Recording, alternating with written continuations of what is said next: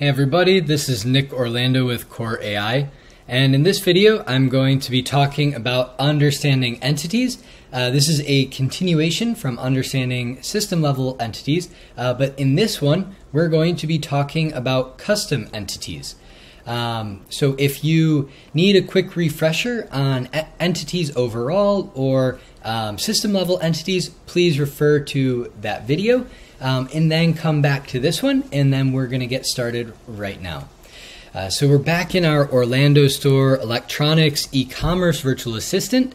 Um, what we're going to do is we're going to dive right back into our dialogue tasks. We're going to jump into the search product, um, conversational flow.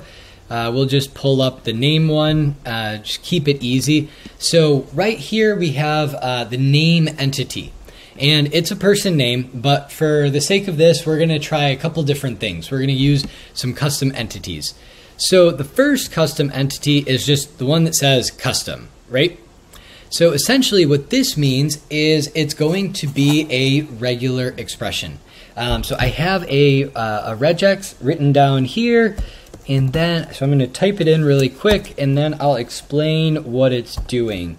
Um, you know, feel free to always know, Google regexes if you're not comfortable with them or if you need to learn more about them. Um, so what I can do is I can include this regex and what this would be doing is let's say that rather than a name, we're looking for a username or a user ID. And maybe that user ID starts with the letters KO and then there's four digits. So that's what this regular expression is saying. So rather than looking for a name, it's going to be looking for a regex that fits what we just built out right there. So that's really quickly what a custom entity is. It's going to be using regular expressions to define what the virtual assistant is actually looking for. The next type of custom entity that we can do is a list of items that's enumerated, right? So if we click over here into the little gear, then you see up here that you can either do a static list where you display everything on your own, or not display, but you you know input everything on your own, or you can use a list, right? Um, for this one, we're just going to do a static list. Um, I think that so this one was name.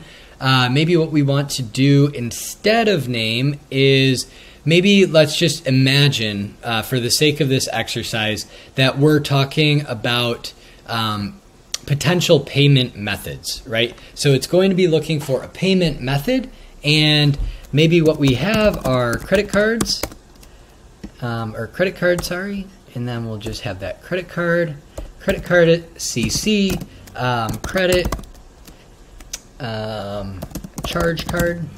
Some people say that. Uh, then we can use a debit card. So we have debit card. Uh, maybe we even call it a, a, checking card. I don't know if anybody even calls it that, but um, I could see it. And then maybe we have check as an option as well, and maybe PayPal as the, the last one, right? So what we can do is we can have these different um, these different values and synonyms that the um, that the virtual assistant would look for when it's trying to find this entity of payment method, right? So what we can do is we can define all of that, then we can save it, and we've created this list of custom um, of custom entities that the virtual assistant can then look for.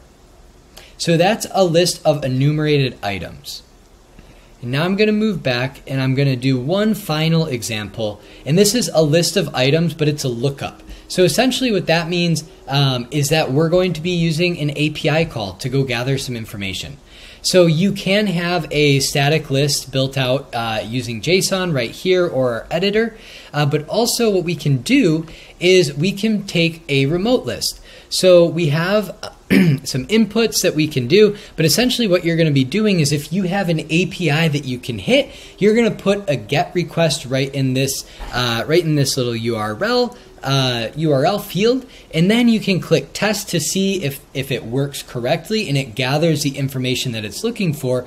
But essentially, with this one, what you can do is you can make an API call to go gather information to see what could potentially be the uh, correct entity that you're looking for. Um, so this is again just a high level overview of the three types of different custom entities that you can create using regular expressions, using a list of enumerated items, and also using API calls in order to go gather that entity information. Uh, thanks so much for your time. Hope you have a good one. Bye.